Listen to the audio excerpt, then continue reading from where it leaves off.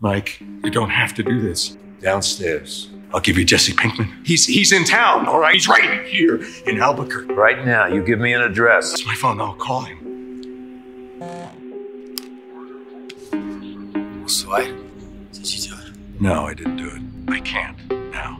It's gonna have to be you. What? Listen to me. You're closer than we are. You'll have about a 20 minute lead. They've got me at the laundry and they're going to kill me. Jesse, do it now! Do it! Bitch, Just what the hell was that? Exactly. You might want to hold off. Yeah? Why? Because your boss is going to need me. 63 53 one to vote.